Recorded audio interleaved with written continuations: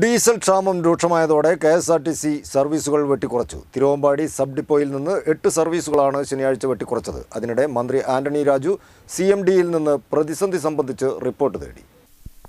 അതിരൂക്ഷമായ ഡീസൽ ക്ഷാമമാണ് മലയോര മേഖലയിൽ ഉൾപ്പെടെ K S R T C trip മുടക്കുന്നതിന് കാരണമായത്. തിരുവമ്പാടി സബ് ഡിപ്പോയിൽ നിന്ന് ആകെയുള്ള ഇരുപത്തിയെട്ട് സർവീസുകളിൽ എട്ട് സർവീസുകൾ മുടങ്ങി. തിരുവമ്പാടിയിൽ നിന്ന് കൊയിലാണ്ടി സിവിൽ സ്റ്റേഷൻ മലാപ്പറമ്പ് വടകര ഉൾപ്പെടെയുള്ള റൂട്ടുകളിലെ ബസ്സുകളാണ് ട്രിപ്പ് മുടക്കിയത്.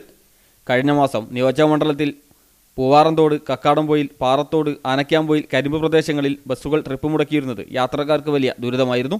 കോഴിക്കോട് ഡിപ്പോയിൽ നിന്നാണ് തിരുവമ്പാടി സബ് ഡിപ്പോയിലെ ബസ്സുകൾ ഡീസൽ നിറയ്ക്കാറുള്ളത്.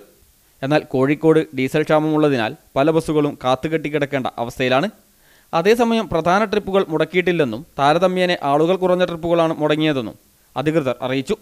നേരത്തെ വിഷയം ലിൻഡോ ജോസഫ് എം നിയമസഭയിൽ ഉന്നയിച്ചിരുന്നു. അന്ന് പ്രശ്നം പരിഹരിക്കാമെന്ന് മന്ത്രി ആന്റണി രാജു ഉറപ്പു നൽകുകയും ചെയ്തതാണ്. എന്നാൽ പ്രശ്നം ഇപ്പോഴും രൂക്ഷമായി തുടരുന്നു.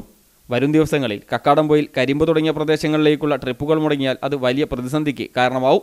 അതിനിടെ ഡീസൽ പ്രതിസന്ധിയെ തുടർന്ന് K S R T C ordinary സർവീസുകൾ വെട്ടിക്കുറച്ചതിൽ ഗതാഗത മന്ത്രി Antony Raju K S R T C M D Biju പ്രഭാകരിൽ നിന്ന് റിപ്പോർട്ട് തേടി.